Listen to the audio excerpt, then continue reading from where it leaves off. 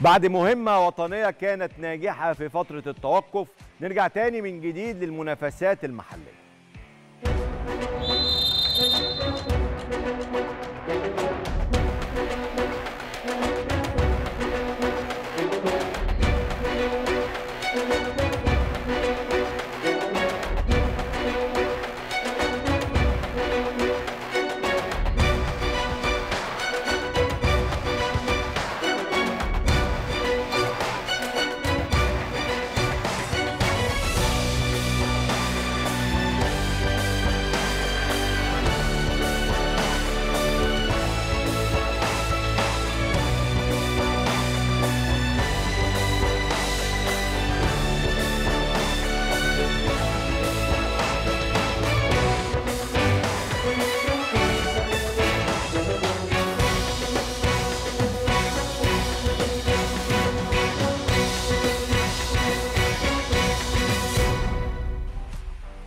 عودة من جديد لماتشات الدوري المصري دوري نايل اللي هتستكمل بكرة إن شاء الله بمواجهتين بيراميدز وسموحة ومودرن فيوتشر ضد الجونة. كمان الجمعة هيكون في مباراتين للقطبين الأهلي ضد فاركو والزمالك مع سيراميكا كليوباترا. فترة توقف فاتت وانتهت واللي جاي يا رب يكون أقوى وأمتع للكرة المصرية.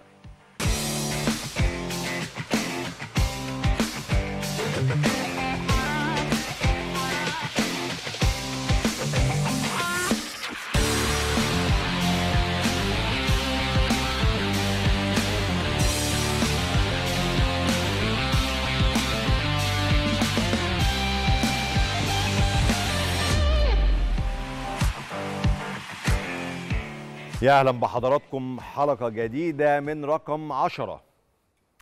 دوري راجع. بننسى إحنا الدوري ده خالص بننساه بننساه. يعني طول الوقت إحنا عندنا فترات توقف طويلة في الدوري. بتطول معانا. آه كان في ماتشين طبعا لمنتخب مصر مهمين جدا ومنتخبنا الأهم وكل شيء بس بننسى الدوري. امبارح كنت في لقاء آه صحفي فحد بيسألني بيقول لي أنت بصراحة ويقول لي كده يقول لي بصراحة كده أنت إيه رأيك في الدوري المصري؟ قلت له لأ طبعا. لأ ما قاليش كده قال لي هو أنت راضي عن الدوري المصري؟ قلت له لأ طبعا مش راضي. لأ طبعا مش السنة دي من سنين طويلة. مش راضي. نفسي أحس المسابقة بتاعتنا دي اللي هو مثلا مثلا يعني المباريات تقام كل يوم سبت وحد. قول إحنا اجازتنا مش السبت والحد جمعة وسبت. نعرف كده مباريات الدوري تبقى في الاجازة الرسمية بتاعت البلد تستمتع بالمباريات. إحنا ما شاء الله الدوري عندنا بيتلعب كل يوم. يعني اليوم اللي نلاقيه فاضي نحط له ماتش. خد ماتش كده. لدرجة الراجل المحترم الكابتن عامر حسين حاطط ماتش أول يوم العيد. ما فرقتش. خليه تاني يوم العيد. تاني يوم العيد. فاكرين الحمد لله يعني ربنا يشفيه دايما وهو دلوقتي في حالة كويسة. أحمد رفعت ماتش في أول يوم رمضان أول يوم صيام. يا عم ما حبكتش. يعني عارف أنت خلاص عارف أنت مثلا لو أنا ماشي على نظام ما بلخبطوش أقول لك لا يتلعب في العيد يتلعب في رمضان يتلعب في أي وقت أنا معاك. بس يعني على فكرة العيد كله فيه ماتشات. يعني حد واثنين وثلاث وأربع يعني في ماتشات. ما يعني خلاص. خلي يا سيدي كل الماتشات يوم الاثنين والثلاث والأربع. سيب للناس أول يومين يحتفلوا مع أسرهم والناس. في حاجة كده ما بتفهمهاش. يا جماعة دوري بقى. عايزين نحس إن إحنا عندنا دوري حلو كده. دوري فيه ماتشات مثلا أنا عارف إن الماتشات بتاعت الدوري دي بتتلعب الساعة مثلا خمسة وسبعة يوم الجمعة والسبت. اللي عايز يتفرج على الأهلي ماشي اللي عايز يتفرج على الزمالك ماشي خد الإسماعيلي تمام المصري أهو. استثناء مثلا ممكن أزود يوم الاحد معاهم. زي مثلا الدوري الإنجليزي كده بيتلعب سبت وحد واحيانا بيبقى فيه ماتش ولا ماتشين يوم الاثنين فتحس كده وأنت راجع الدوري. آه إحنا بنحب الدوري بتاعنا كده كده بنحبه على شكله كده بنحبه باللي بيحصل فيه ده كله. بس نفسك يبقى عندك دوري حلو. آه كلمتين قلت أفضفض معاكم بيهم وإحنا بنبدأ الحلقة النهارده. نفسي يبقى عندنا دوري حلو. أصل أنت النظام ده بيعمل إيه؟ بيعمل مشاهدات أعلى على مستوى البث التلفزيوني بيخلي الناس في أجازاتهم يروحوا المدرجات ويستمتعوا بالمباريات يخلي مستوى المسابقة واضح كده والفرق مستواها كويس لعيبة كويسة تطلع لمنتخب مصر. فيها تفاصيل كتيرة قوي. إحنا دايما بنتكلم على انتظام المسابقة بس الناس بتقولها كده وخلاص. لكن لا انتظام المسابقة دي تأثيرها كبير جدا إيجابي على الكرة المصرية لو ده حصل إن شاء الله في يوم من الأيام. ما اكدبش عليك يعني. إحنا دلوقتي ونحن نلامس ال 40 من العمر يعني الواحد بقاله بتاع 20 سنة بتاع 20 سنة ما شافش دوري منتظم. لا مش 20 سنة إيه؟ من ساعة ما وعد على الكورة. الواحد هو عنده 12 13 سنة كده بدأ يشوف الكورة ويفهم الكورة ما شفناش دوري منتظم ما شفناش دوري ليه أيام منتظمة ما شفناش أي حاجة. فأنا ما أكدبش عليك يعني متشائم. هقول لك متفائل هبقى بضحك عليك. أنت عارف إن أنا متفائل دايما. بس في قصة الدوري دي متشائم للي جاي كمان. هيعملوا إيه يعني؟ ما هي الحكاية بتمشي إزاي؟ عشان حضرتك تبقى فاهم برضو. ألو؟ لو سمحت أنا عايز أجل ماتش. عينيا. ألو؟ وأنا كمان نفسي أجل ماتش. خد تأجيل ماتش. التالت. ألو؟ إشمعنى أجلت الاثنين الأولانيين؟ يا سيدي نأجل لك أنت كمان يا جت عليك. ألو كابتن حسام حسن عايز يأجل أو يعني ياخد المعسكر بدري يومين ثلاثة عشان منتخب مصر. ماشي جت عليك. وإن كان طبعا أنا دايما أقول كده الاولى منتخب مصر يعني نعمل حق كل حاجة لمنتخب مصر. وإن كان لو في نظام مفيش حد هيطلب أزيد من حقه. بس بما إن مفيش نظام فدايما منتخب مصر أولى. الله يرحمكم ويرحمنا من اللي بيحصل ده. وإن شاء الله نشوف حاجة محترمة في المستقبل. المستقبل ده إمتى بقى؟ مش هقدر أقول لك المستقبل القريب. يعني الدوري اللي المفروض على الورق هيخلص 15 8 وإن كنت أشك طبيعي إنه اللي هيتبعه دوري آخر هيبقى فيه تأجيلات وهيطول أكتر فمش هنعرف نخلص زي الناس في شهر خمسة مستحيل يعني في الدوري الجديد اللي جاي السنة الجاية ده. يعني مثلا النهارده كنت في حديث مع أحد الزملاء قبل ما نخش على الهوا النهارده بيسألني بيقول لي الناس بتتضايق جماهير النادي الأهلي وجماهير نادي الزمالك وكل جماهير الأندية. أنتوا بتطلعوا تتكلموا على الصفقات بتطلعوا تتكلموا على اللاعبين الراحلين وإحنا لسه في يعني يعتبر في نص الموسم. يعني حرام أنتوا كده بتأثروا على الفرق. لا يا فندم والله ما قصدنا. وإن كان ده شغلنا يعني. يعني حتى لو لو الموسم بتاعنا بيخلص بشكل طبيعي وقبلها جات لي أخبار عن انتقالات هقولها برضه يعني ده شغلي أعمل إيه يعني؟ أنا يعني مصلحة ناديك وحبك لناديك ده ليك انت كمشجع. أنا بعمل شغلي الإعلامي. بس إحنا لما بنتكلم على صفقات دلوقتي ولاعبين راحلين عشان انت كلها أسبوع أسبوع واحد وهتسمع عن مش هتسمع هتشوف أخبار رسمية إن في لعيبة مشيت من الأهلي والزمالك. ما هو لعيبة الأهلي والزمالك تحديدا يعني أو أي نادي في مصر. جالهم عروض خارجية من الخليج أو في أوروبا. مش هيكمل معاك بالكتير لحد 30 6 بالكتير لحد 30 6 وهيمشي مش هيكمل معاك لحد 15 8 ولا 1 9 بقى بحسب ما الدوري بتاعنا يخلص. فاحنا دلوقتي في الحدث إحنا دلوقتي في سوق الانتقالات العالمي اللي انت جواه انت مش براه. طيب لو انت عايز تشتري لعيبة موجودة بره تجيب محترفين يعني لازم تشتريهم دلوقتي. مش هينفع في 15 8 ولا في 1 9 ليه؟ عشان هيكونوا اتباعوا وراحوا لعبوا في فرق. فانت لازم تخلصهم دلوقتي. فانا لما اطلع أقول لك الاهلي بيتفاوض مع لعيبه وهيضمهم خلاص خلال أيام. أنا كده مش ببوظ للاهلي صفقه. لما أقول لك الزمالك في لعيب هيمشي من عنده آخر الشهر ده شهر 6 أنا كده مش بضر بالفريق عشان هو هيمشي فعلا آخر شهر 6 طيب اللي بيعمل فينا ده كله إيه؟ إن إحنا الناس كلها خلصت وإحنا لسه مكملين. إحنا مكملين قوي يعني. أنت متخيل الدوري بتاعنا فاضل له حوالي شهرين ونص؟ حوالي شهرين ونص؟ نص موسم. كتير يعني. إحنا بعيد قوي تيجي بقى تكلم حد تقول له طب حلولك إيه للسنة اللي جاية؟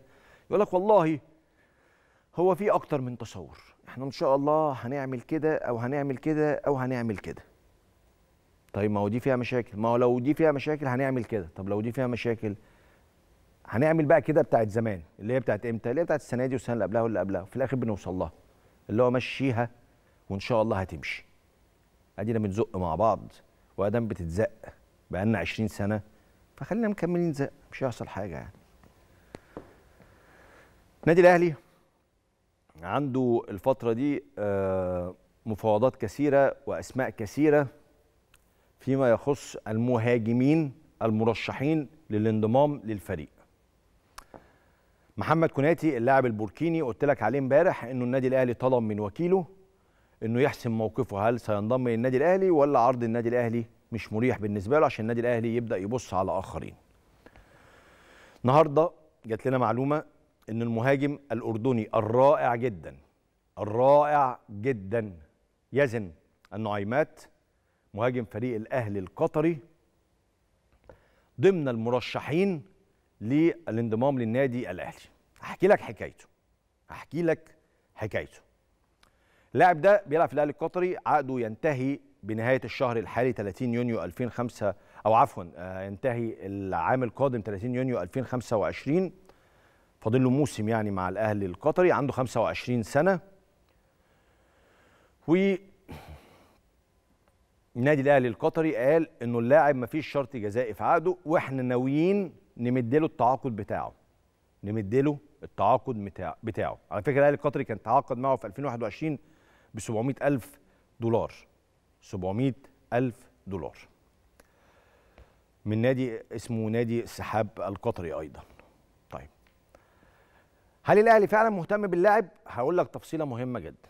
كابتن سامي قمصان المدرب المساعد مع مارسيل كولر المدير الفني للنادي الأهلي قدم تقرير للمدير الفني وللجنه التخطيط في النادي الأهلي حول هذا اللاعب. لاعب الدولي لعب 36 مباراة مع المنتخب الأردني وسجل 17 هدف. يعني اللاعب ده الآن على طاولة النادي الأهلي. هل الأهلي دخل في مفاوضات؟ لا. هل الأهلي خد خطوات جدية أو رسمية في هذا اللاعب؟ لا. حتى هذه اللحظة حتى هذه اللحظة. بكرة ممكن يبقى في خطوات. ممكن يبقى في خطوات بس الأهلي مهتم بهذا اللاعب. والأهلي حطه بديل أو ضمن البدلاء في حال عدم التعاقد أو فشل التعاقد مع محمد كوناتي اللاعب البوركيني. اللاعب ده الموسم ده يزن النعيمات لعب 18 مباراة بدأ أساسي فيهم في 16 مباراة سجل خمس أهداف وصنع ست أهداف. وسدد أو معدل تسديداته 2.1 لكل مباراة. تمريرات مفتاحية 1.5 لكل مباراة. وصناعة فرص محققة أربعة. لعيب ممتاز ممتاز. طيب. يعني لو النادي الأهلي قدر يتعاقد مع هذا اللاعب مؤكد هتكون صفقة ناجحة جدا. بس خد بالك إنه الأهلي القطري متمسك بيه. وبالتالي دايما لما بتخش في منافسة مع نادي خليجي بتبقى صعبة شويتين ثلاثة عشان هم بيدفعوا مبالغ طائلة جدا جدا جدا. خلينا نشوف. النادي الأهلي عنده مباراة مهمة مع فاركو في عودة أو عودته للدوري مع فاركو يوم الجمعة اللي جاية إن شاء الله وعنده عدد من المصابين. تعال أقول لك موقف مصابي النادي الأهلي قبل مباراة فاركو إيه وسام ابو علي وصل تنفيذ برنامجه التأهيلي الذي بدأ تنفيذه أمس على هامش المران الجماعي للفريق بعد الفحوصات الطبية التي أثبتت إصابة اللاعب بجزع في اربطه الكاحل وذلك أثناء مشاركته مع منتخب فلسطين مؤخرا.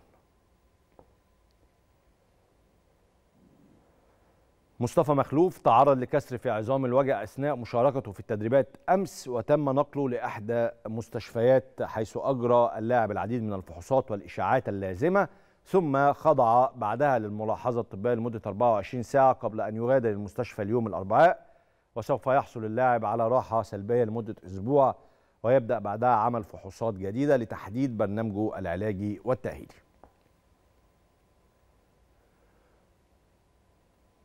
بيرستاو لاعب الفريق تعرض لإصابة في العضلة الخلفية أثناء مشاركته مع منتخب بلاده ضمن الأجندة الدولية الأخيرة.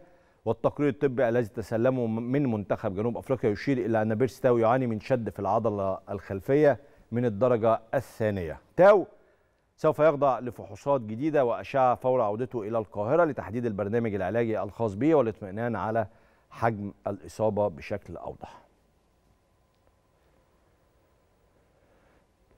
ده بالنسبة لإصابات النادي الأهلي، الحكاية التي لا تنتهي الحكاية التي لا تنتهي. حكاية محمد الشيبي وحسين الشحات. أنتوا عارفين اتحاد الكورة كان عاقب محمد الشيبي بعد لجوء- لجوءه للقضاء المدني وأوقفوا ست مباريات وغرامة 100 ألف جنيه. اللاعب استأنف النهارده ضد هذه العقوبة وشايف إنها عقوبة غير عادلة. بعض الصحف المغربية قالت إنه الفيفا أرسل لاتحاد الكره عدم قانونية هذه العقوبة. أتصور إنه المعلومة مش دقيقة. يعني أظن ده شأن داخلي لائحه داخليه داخلية بالنسبة لاتحاد الكرة ورابطة الأندية وبالتالي ما أظنش إن الفيفا تتدخل في هذا الأمر. أظن يعني أعتقد. طيب دي حكاية. حكاية أخرى وهي تخص رمضان صبحي. النهارده بيراميدز طلع بيان بخصوص رمضان صبحي. ومتضايق شوية من التصريحات اللي بتطلع بخصوص آه، نتائج العينة وتفاصيل القضية واثناء جلسة الاستماع. بيراميدز متضايق يعني. وأنا هنا واقف عند نقطة مهمة جدا. أنا عايز أقول لنادي بيراميدز وأقول لرمضان صبحي كلنا معاكم. عشان بس في جملة بتتقال اللي هو إيه لو ده لاعب أهلي أو زمالك كان الوضع يختلف. لأ. واحدة واحدة. لما أقول لك كلنا معاكم معاكم بقلبنا نقول يا رب من جوه جوه القلب يا رب. رمضان صبحي يقدم ما يثبت ما يثبت تبرئته من هذه القضية. ما نحبش ابدا يا رب رمضان صبحي يتعاقب بعقوبة كبيرة وإيقاف ربما يؤثر على مستقبله في كرة القدم. وده لكل جماهير الكرة في مصر. تحب بقى رمضان ما تحبش رمضان بتشجع رمضان ما تشجعش رمضان. ده مستقبل بني آدم مش مستقبل لا مستقبل بني آدم. فأنت لو إنسان سوي عمرك ما هتبقى فرحان إن رمضان عنده مشكلة كبيرة زي دي. بس في نفس الوقت في نفس الوقت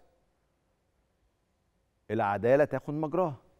يعني لو رمضان مذنب فخلاص هزعل عليه جدا لما يتعاقب بس خلاص يعني أنا لما بقول لك إحنا معاكم كبيراميدز أو رمضان صبحي معاكم بقلب أتكلم عن نفسي معاكم جدا.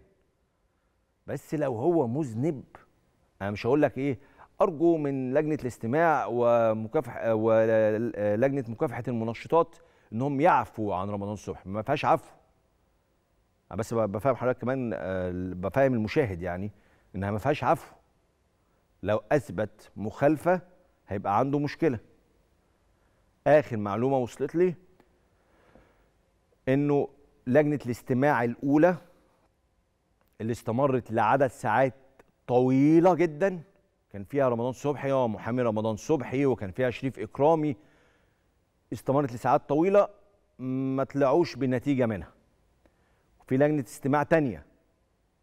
بعد لجنة الاستماع التانية لو لم يثبت رمضان صبحي براءته في هذه الأزمة سيعاقب من بحسب اللائحة بتاعتهم بتاعت آه، مكافحة المنشطات من سنتين لأربعة. من سنتين دي لوحدها عقوبة كبيرة قوي لأربعة. أربعة دي تضيع مستقبل خلاص رسمي رسمي كل حاجة. سنتين هقول نقول إن شاء الله يعني يلحق. بس من سنتين لأربعة حاجة. حاجة تخض. شاء الله بإذن الله يعرف يبرأ نفسه ببساطة. والله ملهاش علاقة يا جماعة وأنا بس أتمنى من مسؤولي بيراميدز يبقوا أكثر حنكة في هذا الأمر. بلاش تسويق الأمر وكأنه عشان بيراميدز وعشان اللاعب مش بيلعب في الأهلي أو الزمالك فالدنيا ما جاية عليه.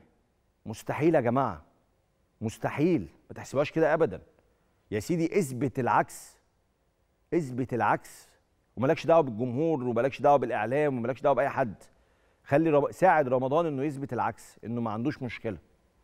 بس مش كل حاجة وكأنها مرة أخرى مؤامرة وحكاية وقصة. إن شاء الله يطلع ما عندوش مشكلة ويكون في مشكلة في الإجراءات في أي حاجة. دي حكاية رمضان.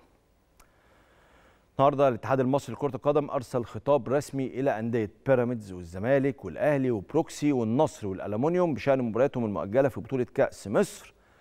واتحاد الكرة قرر إقامة مباراة بيراميدز والنصر يوم الاثنين 15 يوليو على استاد الدفاع الجوي في تمام الساعة الثامنة مساء.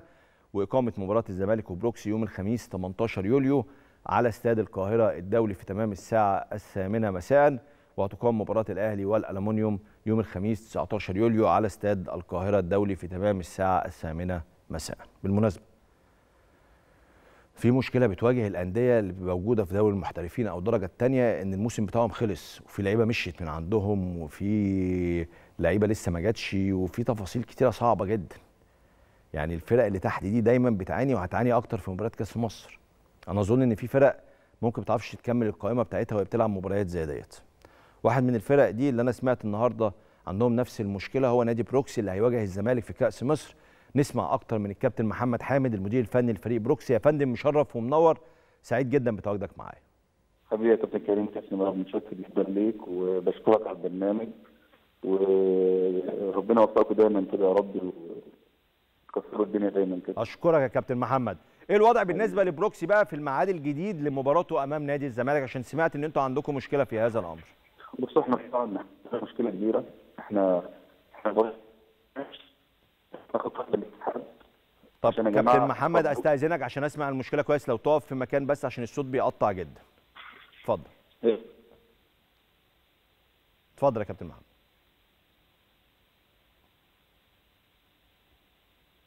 أنا مع حضرتك يا فندم لو لو أنت سامعني كويس. الخط قطع نحاول نرجع له تاني. نسمع برضو مشكلة نادي بروكسي عقبال ما يغير مكانه ونعرف نسمعه كويس عشان يعرف كمان يشرحها. فدي نقطة مهمة جدا. وعلى فكرة أهو شوف الحاجات بتلاقي بعضها. بتلاقي بعضها. مش عارفين نخلص دوري الممتاز بس خلصنا الدوريات اللي تحت. الدوريات اللي تحت دي بقى عندك إيه؟ شهرين ثلاثة أربعة في لعيبة ما بتلعبش كورة. خلاص الدوري خلص. مفيش مسابقة. ومفيش مسابقة بعد شهر. هيستنوا بقى لما يخلص الموسم بتاع الدوري الممتاز. ومش عارف يبيع لعيبة ومش عارف يشتري لعيبة وفي لعيبة عقودها خلصت وفي لعيبة مش عارف يجدد. لا في تفاصيل. يا جماعة كل حاجة داخلة في بعض. بنعمل حادثة كل موسم كده. كل موسم في حادثة عندنا وكلها بتنفذ على بعض. أو ناس زي دي أنا متأكد هيقول دلوقتي إنه مثلا هيبقى عنده نقص في القائمة. هيكون في لعيبة عقودها خلصت ومشيت. هيكون مش عارف يشتري لعيبة. يعني هيبقى الوضع صعب جدا يعني. ما هو دول برضو مش بتكلم على بروكسي بس عشان بيواجه الزمالك كل الأندية والالومنيوم اللي هيواجه الأهلي وهكذا. كل الأندية اللي في الأقسام اللي تحت. ما هي بت من حقها تحلم بكأس مصر. آه بيلعب الأهلي بيلعب الزمالك بس من حقهم يحلموا بكأس مصر. ومن حقي يبقى فيه فرص متساوية مع كل الأندية. وإن أنا أخش بقائمه كاملة في موسم أو لعيبتي كمان بتلعب طول الوقت. لكن هو يجي يلعب الأهلي ولا الزمالك هيكون بقاله شهر ونص ما بيلعبش كورة. فحاجة صعبة جدا يعني. دي حكاية. طيب نرجع له بعد شوية ونسمع منه برضه. طيب توملانوفيتش ده كرواتي ده راجل معد بدني لفريق كرة اليد بنادي الزمالك. في قصة كده لذيذة قوي الراجل ده اشتغل كويس جدا مع فريق كرة اليد وتم استشارة الجهاز الفني لنادي الزمالك لكرة القدم اللي هو بقيادة البرتغالي جوزيه جوميز على ضمه لفريق كرة القدم بالنادي. جوزيه جوميز رحب جدا بتواجده مع الفريق والراجل انضم فعليا لتدريبات الفريق مساء آه، الأربعاء وأصبح موجود في الجهاز الفني لجوزيه جوميز. هتقولي ده بتاع كرة اليد وده بتاع كرة قدم؟ أقول لك المعد البدني واحد ما بيفرقش يعني. دي أحمال بدنية ملهاش علاقة باللعبه نفسها أو طرق اللعب يعني. دي حكاية. طيب رجعنا تاني مرة أخرى. الكابتن محمد حامد المدير الفني لفريق بروكسي قبل مواجهة الزمالك في كأس مصر. يا كابتن محمد آه، مشرف مرة أخرى. وقول لي إيه هي المشكلة اللي هتواجه بروكسي قبل مواجهة نادي الزمالك بعد تحديد الميعاد النهاردة الميعاد الجديد للمباراة؟ أنت حضرتك عارف إن إحنا كان عندنا الدوري بتاعنا وانتهى بقاله فترة كبيرة. مم. وإحنا اتفاجئنا قبل ماتش الزمالك ب 48 ساعة إن جالنا التأجيل. طب يا جماعة ادونا التأجيل قولوا لنا الميعاد إمتى؟ عشان خاطر نعرف إحنا المفروض إحنا في دلوقتي الموسم انتهى. فلازم اللعيبة تاخد فترة راحة عشان الموسم الجديد. فمحدش ادانا أي حاجة ولا حد اتكلم معانا بأي شيء خالص. تمام. آه، بكرة بعده بكرة بعده هنطلع لكم القرار. اتفاجئنا النهارده ان القرار طلع النهارده.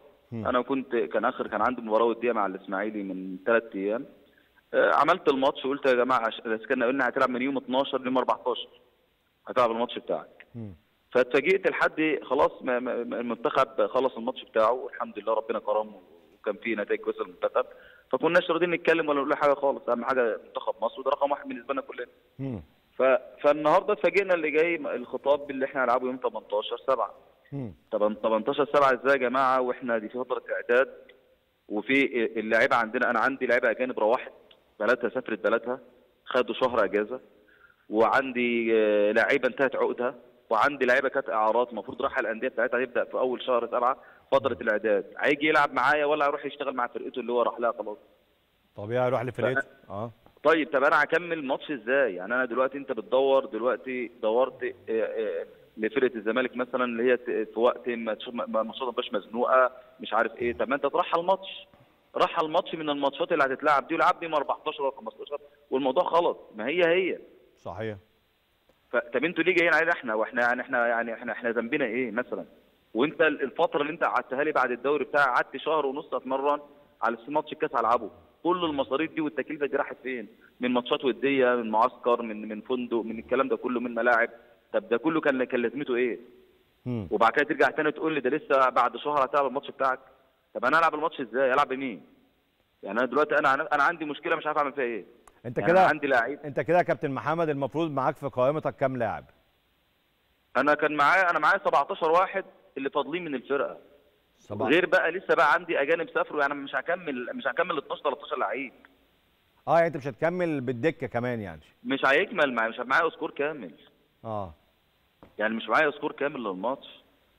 آه. طب يا جماعة طب خلاص طب خلوا الماتش ده في السنة الجديدة في شهر 9 في السنة الجديدة بعد القيد ما يفتح وعادي يعني مش مش مش الماتش ده اللي هيعطل الدنيا كلها يقول لك لا لازم نلعبوا آه، دور اتنين تلعب كله مع بعض. طب ما انت ما لعبتنيش في الوقت بتاعي.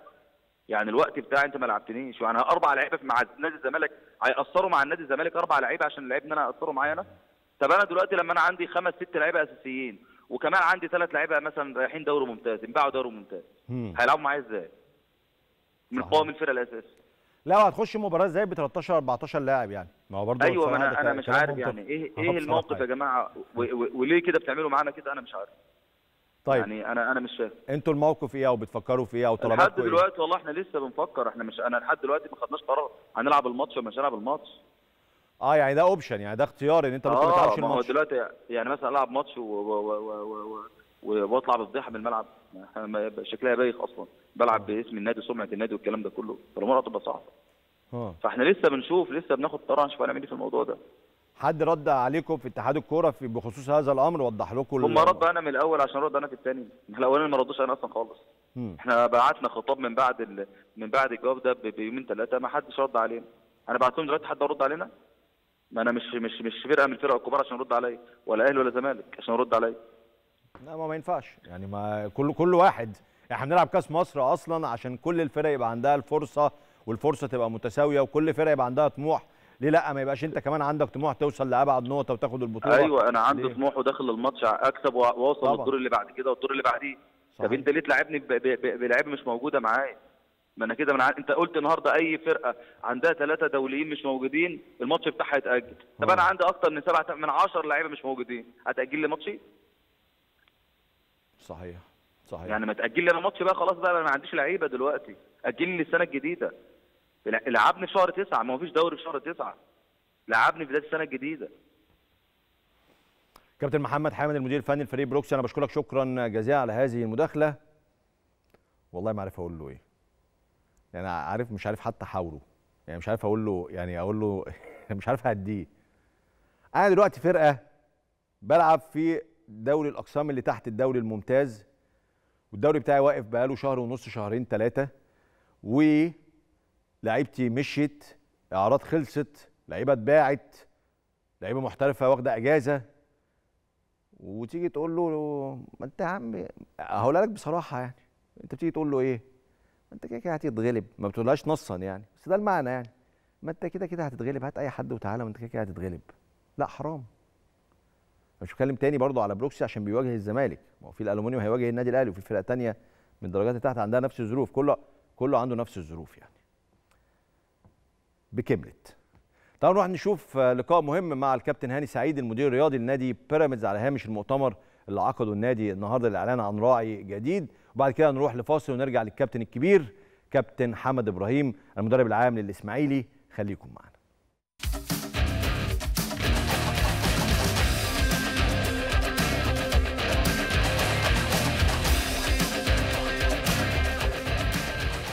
الحمد لله رب العالمين ده توفيق ربنا إن أنت في فترة قصيرة الحمد لله قدرت إن أنت تجذب رعاه للنادي وقدرت إن أنت يبقى في رعاة عايزة تبقى موجودة معاك وتعمل شراكة معاك فدي الحمد لله بفضل ربنا هو دليل نجاح آه، للنادي ودليل النادي الحمد لله ماشي بشكل كويس في في الحتة كمان التسويقية فإن شاء الله نبقى مكملين على كده بإذن الله يعني. لا مش أقرب ولا حاجة إحنا لسه عندنا عدد ماتشات مش قليل لسه عندنا عدد ماتشات كبير فالموضوع لسه بعيد فلسه بدري قوي إن إحنا نتكلم في موضوع المنافسة يعني إحنا. عندنا ماتش مهم جدا بكرة ماتش سموحة. إحنا تركيزنا كله في ماتش سموحة. إن شاء الله ربنا يكرمنا ونكسب الثلاث نقط. بعد ماتش سموحة عندنا ماتش البلدية اللي إحنا برضو بعد ما نخلص بكرة نبدأ نركز في ماتش البلدية. يعني أنا وجهة نظري إن أنت لما يكون لسه عندك تقريبا لسه 12 ماتش فاضل على الدوري فهو عدد مش قليل هو عدد كبير إن أنت.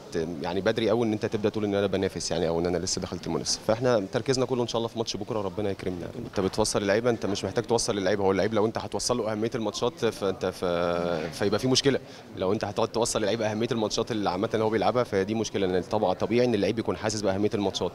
آه، اللي إحنا بنتكلم فيه واللي اللعيبه حاسة بيه أهمية ماتش بكرة. لسه هفضل هرجع أقول لك تاني هو أهمية ماتش بكرة لسه بدري قوي إن إحنا نتكلم في حاجة تانية يعني. في فرق طبعا كويسة في فرق لسه كمان أول سنة ليها السنة دي عاملة ماتشات كويسة جدا. في لا في فرق قوية في الدوري السنة دي في شكل منافسة كويس. آه، نتمنى إن شاء الله المنافسة تفضل كده يعني. عايزين نعرف إيه اللي تم في لجنة استماع رمضان صبحي؟ نطمن على كابتن رمضان. لا خد بالك في حاجات ما ينفعش تعلق عليها طالما لسه في يعني لسه الموضوع ما خلصش. فدي إن شاء الله لما تخلص بإذن الله نبدأ نعلق عليها لأن لسه ما فيش حاجة فعلا نعلق عليها دلوقتي. رمضان أو غير رمضان في الآخر إحنا أي لعيب عندنا في النادي آه، أي حاجة في يعني أي كيس لأي لعيب عندنا في النادي هو طبيعي يبقى فيه مساندة من النادي يعني. أزمة الشيبي وحسين الشحات. في شيء جديد؟ والله الجديد اللي طالع دلوقتي إن ممكن عشان طب الموضوع فيه استئناف فبيتوقف ال- الحكم اللي صدرت بالست ماتشات الإيقاف ده يتوقف لحد ما ما يبقى فيه حكم تاني. فمحتمل إن الشيبي يكون موجود إن شاء الله في الماتشات اللي جاية. بص الحال الودي هو الحال الودي هو مع الشيبي. خد بالك أنا كنادي أنا قلت وهقول تاني. أنا كنادي أنا دوري إن أنا أساند الشيبي. لكن لو الشيبي عايز يحل بشكل معين دي حريته الشخصية يحل وأنا معاه. لو هو عايز يكمل في الموضوع هو حر وأنا معاه. بس لا أنا دوري كنادي إن أنا أبقى داعم للشيبي وإن أنا يعني أنا معاه في أي حاجة. بس إحنا عايزين رد صريح. طبعا إحنا بعتنا وهنبعت لاتحاد الكورة. إحنا عايزين رد صريح. هل الشيبي ممكن يشارك في الماتش ولا مش ممكن؟ وهنستنى نشوف الرد. رد صريح لأن أعتقد اللي أنا سمعته دلوقتي وأنا داخل ما لحقتش إن في جواب وصل للنادي بس مش باين فيه الكلام. العطار نفى ان هو موقع أوكي خلاص مفيش مشكلة. إحنا هنبعت للاتحاد الكورة ونعرف منهم بشكل صريح والله هل الشيبي يقدر يس- يشترك ولا لا لأن إحنا من غير ما جواب ما يجي أو في حاجة تيجي رسمية أكيد مش هنعمل حاجة لازم يكون في حاجة رسمية.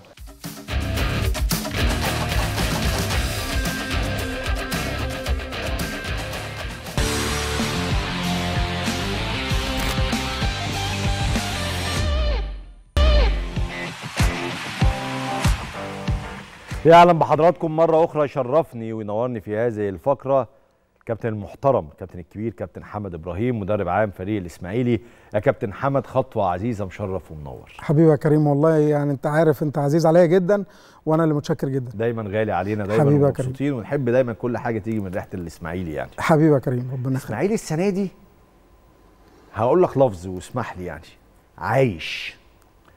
بيعرف يتنفس. حاسين إن الإسماعيلي على الأقل واقف على رجله. أكيد أنا اللي بحب الكورة كل المصريين اللي بيحبوا الكورة وتحديدا جمهور الإسماعيلي اللي بيعشق الإسماعيلي عايز يشوف الإسماعيلي بينافس على القمة. بس أنتوا قدرتوا السنة دي تخلوا الإسماعيلي طبقا للظروف الصعبة دي إنه يقف على رجله. عملتوا ده إزاي؟ والله الحمد لله يا كريم. أنا بحمد ربنا وبشكر ربنا. طبعا هي سنة من السنين الصعبة جدا على الإسماعيلي ودي تكملة الفترة ال- السابقة اللي هي كانت الإسماعيلي بيمر بفترات صعبة جدا. تغيير الإدارات تغيير ال- ال- النواحي الإدارية ديت الأجهزة الفنية كتير جدا اللي كانت بتمسك برضه النادي. آه، دي كانت بتعمل مشاكل كبيرة جدا جوه النادي وبتعمل هزات كبيرة جدا. طبعا ال- السنة دي طبعا يعني مع إن الكابتن إيهاب آه، كان آه، كابتن علي أبو جريشة والكابتن عماد وما كانش في مجلس إدارة وهم اختاروا إن الكابتن إيهاب يبقى موجود والكابتن إيهاب كان آه، يعني يمكن أول مرة يتكلم معانا فيها إن هو آه، هو عايز يبقى موجود جوه النادي الإسماعيلي يحاول يساعد النادي بتاعه ويساعد ال- آه، الجماهير بتاعته والناس يعني في علاقة ود وحب الحمد ممكن لله. بدون مقاطعة كنا قاعدين قاعدة مع كابتن إيهاب وحضرتك كنت قاعد في القعدة دي وأنا سألت حتى ده بره بره التسجيل يعني سألت آه. كابتن إيهاب جلال بصراحة أكلمك بأمانة هو أنت ليه بتعمل في نفسك كده؟ الظروف صعبة جدا. والعملية صعبة جدا. قال لي أنا اللي عايز. أنا اللي اخترت. هو أنا اللي حابب أتحمل مسؤولية نادي الإسماعيلي ال- دلوقتي. الإسماعيلي له كتير عندنا.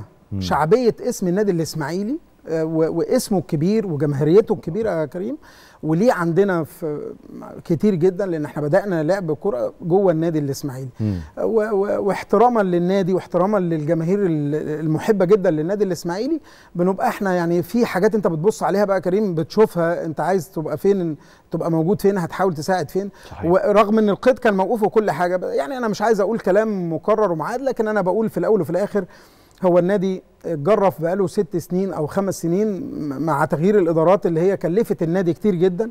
ناس ما بتبقاش فاهمة أصلا في الإدارة وبيمسكوا وكل واحد بيبقى عايز يرشح نفسه وأنا عايز أبقى موجود وأنا عايز أبقى وفي الأول وفي الآخر تيجي بقى في الحاجات اللي المفروض يبقى هو فاهمها حتى في في تنفيذ عقود لعيبة أو اختيار لعيبة أو العقود اللي هيعملها اللعيبة آه، فعلا بيجي على النادي الإسماعيلي كتير جدا. وده اللي حصل المشكلة في الفترة الأخيرة ديت أرقام كبيرة جدا على النادي. وده اللي إحنا بنقول عليه بقى يعني كان الهدف من من من الفرقة إن أنت إزاي تعمل فرقة تقدر تلعب بيها كرة شكلها مختلف وفي نفس الوقت تحاول تحاول على قد ما تقدر تهرب من الحتة اللي, اللي دايما إحنا برضو مزنوقين فيها. هنقول آه، آه، مش في أفضل نتائج السنة دي لكن ده له أسباب كتيرة جدا في تكوين الفرقة و و وعدد اللعيبة الصغيرين اللي دخلوا الفرقة وحاجات كتيرة طبعا آه، طبعا إخواتنا وزمايلنا المدربين هيفهموا الكلام دوت. بتحصل بعض الهزات و و و وده هيحصل وإحنا كنا متأكدين منه. لأن مع مع تكوين الفرقة انت أنت متأكد إنك هتعمل تغييرات كتيرة جوه الفرقة وده اللي حصل ال- السنة دي. لكن جمهور الإسماعيلي مت- متحمل ده متفاهم طبعا ده؟ طبعا. بص هنقول هنقول إحنا بنحترم كل الناس اللي هي بتنقد وتبقى زعلانة على النادي وزعلانة على النادي وده حقها طبعا الشرعي لأن إسماعيلية ما فيهاش غير النادي الإسماعيلي طبعا ونادي القناة وكل الأندية اللي ليها احترام بس هو النادي الإسماعيلي رقم واحد. صاحب الشعبية الأول في الإسماعيلية. هم حبهم وعشقهم للنادي الإسماعيلي. طبعا. أي حد بيبقى زعلان على النادي الإسماعيلي إحنا بنحترم الكلام ده وبنبقى مقدرين الكلام ده. لكن طبعا أنا أنا عارف إن الناس الكتيرة جدا من من جماهير إسماعيلية متأكدة وعارفة الكابتن إيهاب بيعمل مجهود قد إيه ومجهود كبير جدا يا كريم في حتة إنك أنت تقعد تدور في الفرقة وتجيب وتحاول تشوف ولد صغير وتطور فيه وتطور في بعض الناس. وأنا بقول إن يعني أو, الناس قالت لنا الإشارة ديت إن فعلا آه، في لعيبة كتيرة فعلا مستواها متطور جدا السنة دي.